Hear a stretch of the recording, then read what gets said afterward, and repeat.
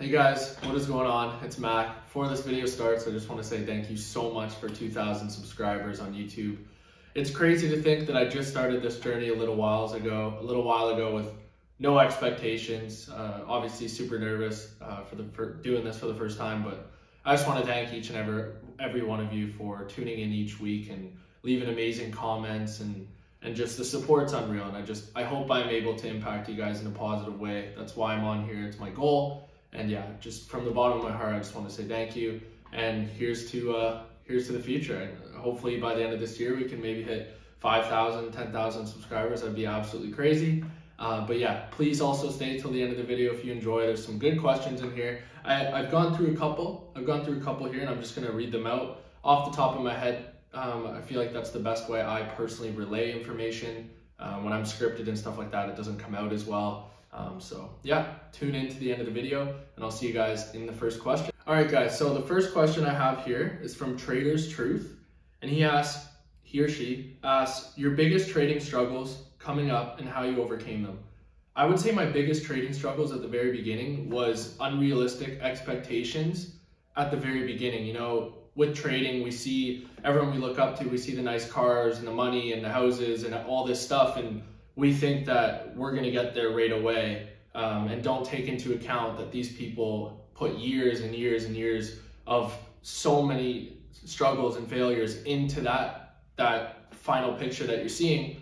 So i feel like by nature at the very beginning your your expectations kick in and you start thinking about the the external stuff and you start thinking about you know the final destination instead of all the process and all the all the the steps need to do in order to get there in the first place. Uh, so I think that was my biggest that was my biggest struggle. How did I overcome it? Um, just you know coming to reality with things and knowing that every single day, as long as I'm better than the previous day uh, with my trading and I'm putting in all the effort, um, I, I, knew I would get to where I wanted to be. And I'm, I'm nowhere close, but I'm super super uh, grateful and I, I'm so much further away. Or sorry, I'm so much closer every day. Um, and you know, that's why I strive to be better every single day because you just by law are going to be closer to your goal than if you aren't working on it um, every single day. So I put in the work, put in the time. You guys know all about that. But I would say, how did I overcome that? Drop expectations and just do your damn best. Don't compare your timeline to anyone else's because there's so many different variables. Um, for myself, I've been putting in 10 hours a day, eight hours a day for for over two years now, just grinding, grinding, grinding, grinding, grinding, grinding. It's it's my love. It's what I love. Um, so you can't compare that if you're someone who puts in two hours a day or three hours a day. Uh, it's going to be a lot different. And I know there's a lot of variables in the sense that, you know, some people have a lot of stuff going on, some people don't. Uh, that's why I just don't compare your journey with someone else. Your journey is unique, it's special, it's just yours, and that's how I would say uh, to overcome that. All right, so the next question is from official.sg.fx. Uh, what book should every trader read? Appreciate it. I would say you got to read the traditional ones, Disciplined Trader, Trading in the Zone. Uh, but then I would say, you know, I don't hear a lot of people talk about this, but it's the the psychology books, the inner work inner work books, um, you know, self development, because that's how we become better as traders. We you become a better person, you're going to become a better trader. It's not it's not the other way around. And like I said before, you grow into the trader you want to be. You don't, you aren't that person right now. You don't possess those tools uh, for your for your skill set right now. It's a lot of internal growth. So I would say self development books. I just read a book called uh, Think Like a Monk. That was amazing. Um, the Monk Who Sold His Ferrari. That was unbelievable. 5 a.m. Club. Uh, what ones? Think Grow Rich off the top of my head. Um, what other ones do I have over there? Hmm. Think Grow Rich. Uh, da, da, da. There's so many other ones. I'll do a video on this soon, an updated book. Uh, but I would say the best book that I've read recently is The Monk Who Sold His Ferrari. And behind that same author uh, is the 5 a.m. Club. So I hope that helps. But yeah, not so much trading books. I don't think you should read books on trading. I think you should read books on psychology and how to become a better person. All right, so the next question's from Andrew Richardson. Um, what's up, man? Hope you're doing well. Uh, how does someone with no stock knowledge create, read, uh, read slash understand and predict charts. I would say get on YouTube, man. There's so many free content out there. Uh, I would say don't jump into you know paying for something right away. There's so much free content online that you can find that you can you know help put you in the right direction and you know kind of find you just got to learn the basics at the very beginning you know? It's like anything. You don't just jump from the bottom all the way to the top. Learn the basics because then you're going to be more motivated to continue. If you just if you go to like an advanced course right away or something like that you're going to have no clue what's going on um, and it's going to be very demotivating so i would say youtube's your best friend right now youtube is an unbelievable platform i love it so much there's so much free information online, it's unbelievable. So I would say just literally type in everything. How to learn stocks for beginners, how to learn Forex, crypto, anything. Literally anything is on YouTube. So that's where I would suggest going, man. I wouldn't suggest buying a course or anything like that. Start there for sure. And then once you start to gain some knowledge, I would say maybe find a mentor uh, in your field that you want to pursue um, because you know it cuts off time, cuts off time for your journey when you're able to learn from people who have you know made the mistakes and can share that and pass that down. So I hope that helps. All right, this one's from my man Kenneth, Kenneth.sna. How to avoid pressure when relying solely on trading income in the beginning.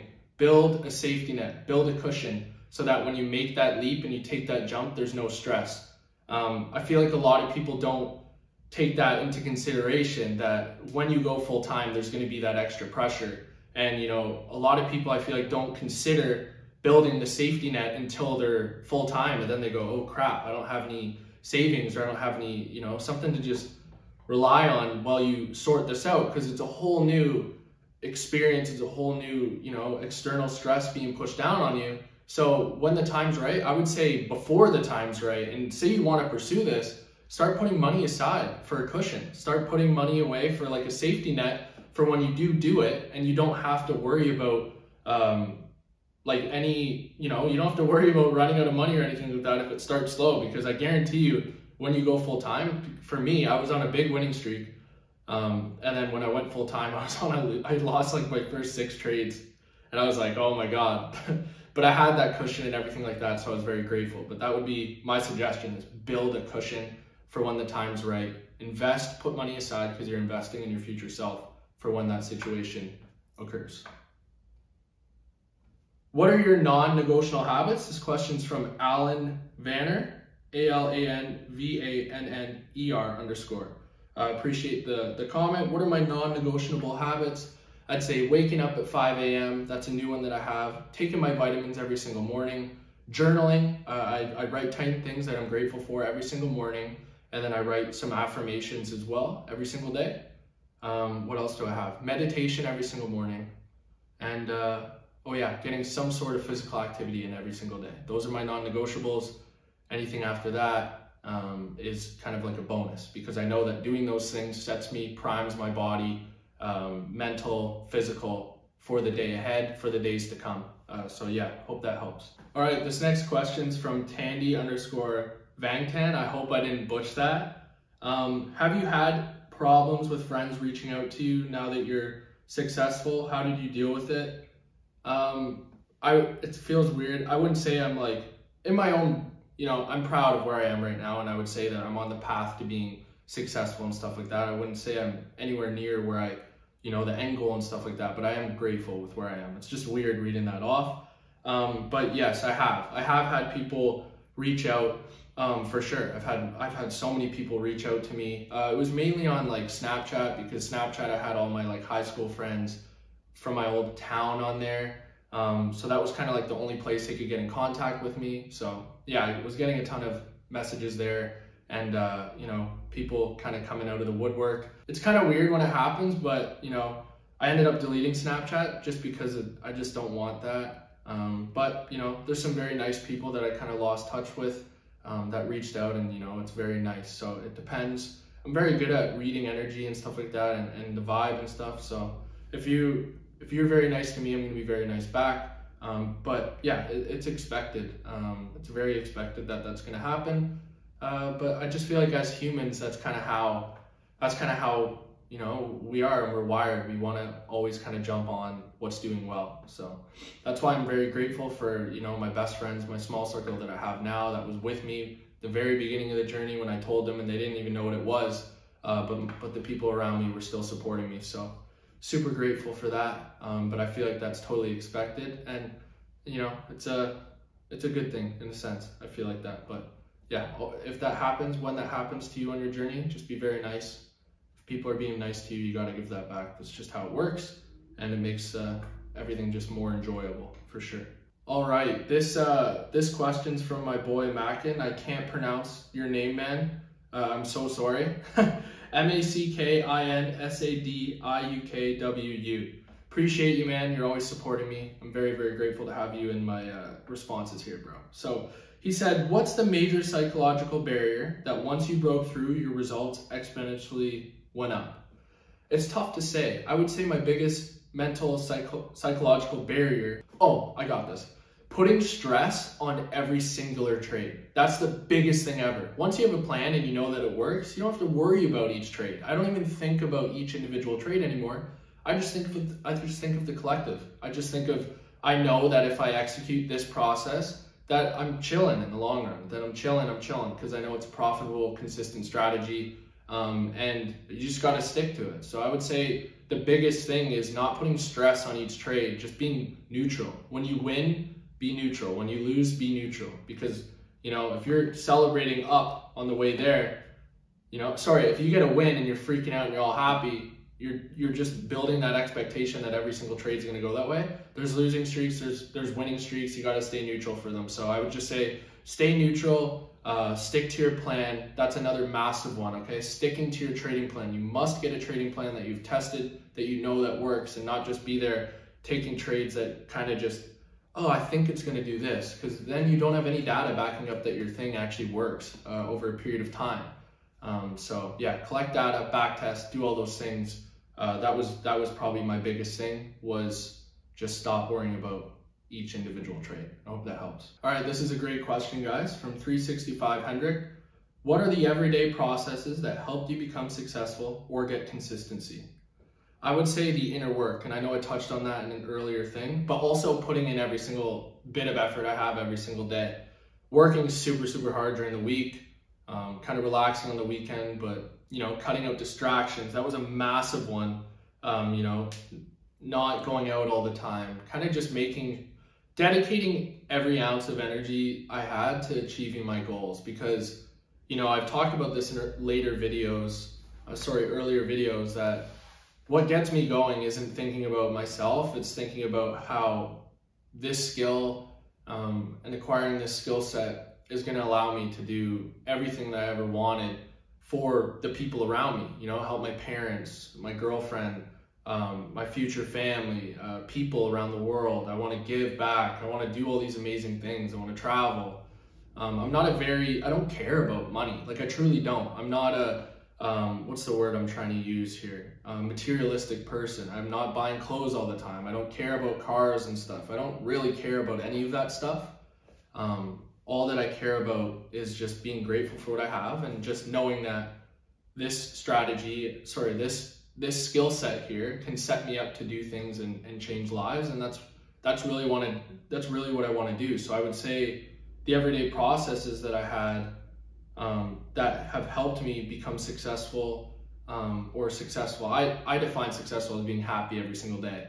Uh, so I would say that yes I am successful um, I don't rate success off of like external stuff uh, because there's so many people that have all the money and are miserable I wake up every single day on cloud nine, and yes, I would say that that to me is success. Um, I know I'm rambling on here, but I would say the everyday processes would just be finding your why, um, doing all the inner work, um, and just making sure you're in the best mental state and physical state because our you know healthy body, healthy mind, it works beautifully, and you know just believing in yourself, backing yourself, betting on yourself uh, just doing that every single day and just giving it 100%, 110% every single day uh, to become better. And with that, you know, it compounds over time and you're going to become better and better and better.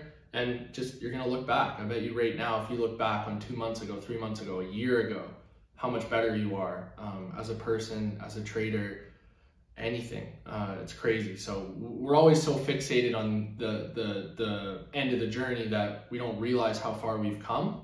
Um, and I find that is so, so, so important because that's where, to me, that's where I get my motivation is zooming out and just thinking, whoa, last year I was at in my nine to five job making peanuts, um, working hard and doing all these extra things in school. And it's just, it's crazy to me that uh, this year, this month actually is like my one year of leaving my nine to five, and it's just unbelievable. It's unbelievable. So I hope that helps uh, answer your question there. Uh, Chris, Chris Rice, my boy. Uh, what would you consider to be your most important life-changing or morning activity? Um, I would say the gratitude, the daily gratitude every single day. I know it's simple and it sounds, you know, how can that help? I promise you, if you start your day writing in a journal 10 things you are grateful for, you automatically start your day on such a good such a good foot. And I would also say listening to podcasts in the morning um, before you start your day, say in the car, Mindset Mentor, 10 out of 10 podcast. Um, just find someone that you can listen to that really gets you fired up and motivated for that day ahead because there's gonna be days where you wake up not motivated, but that just, you know, it's like putting the fuel in or, or just igniting a little spark underneath a fire that was already going but died down all it needs sometimes is a little spark and you're, you're good to go. So I hope that helps. All right, this is a good question from Henry and I think I'm gonna finish it off on this. There's so many here, guys. This video could be so long, so I'll have to, I'll probably save this one and do another Q&A at the end of another video. Uh, apart from trading, do you have any other interests that gives you another source of income? Um, you know, I have my mentorship that helps trading. Um, and you know, I, I, I just, I'm kind of just, I'm in crypto as well. I'm just trying to focus on building this one skill right now um, and continuing to become good. I want to master this thing and then, you know, from there, get into different businesses. I want to be an angel investor one day where I can, you know, invest in different startups, uh, kind of like some like Shark Tank kind of thing, um, and just, you know, provide for people that didn't have, you know, didn't have the money to to start such an amazing idea. I feel like there's so many, so that's something that I really want to do one day. Um, and yeah, that's that's probably it right now. I'm not interested in real estate or anything like that at the moment. I'm kind of just trying to just put everything. Oh, and YouTube, YouTube as well. Um, something that I'm super super proud and happy is in the next probably week or two, I'm going to be eligible to be like a YouTube partner, which is something cool. It was a very very big dream of mine because I love this platform so much, um, and I use it all the time. So to be able to have it as a source of income is an amazing feeling. So. Uh, yeah, guys, that's it for today. Thank you so much for 2K if you made it to the end. I love you guys so much.